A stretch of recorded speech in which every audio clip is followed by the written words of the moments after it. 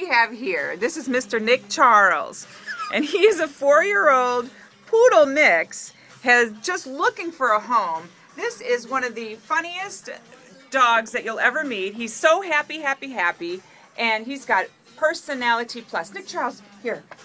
Oop. Go get it. Go get it. Bring it here. Bring it here. Good boy. Good boy. He is available at the Escondido Humane Society for just $85, and he sure would make a wonderful pet for a family. He gets along great with other dogs, and he would make you happy. You can find out more about Little Nick Charles here on our website at magic925.com. Click on Jagger and Kristi and Kritters. Say bye. Bye. Say bye to the people.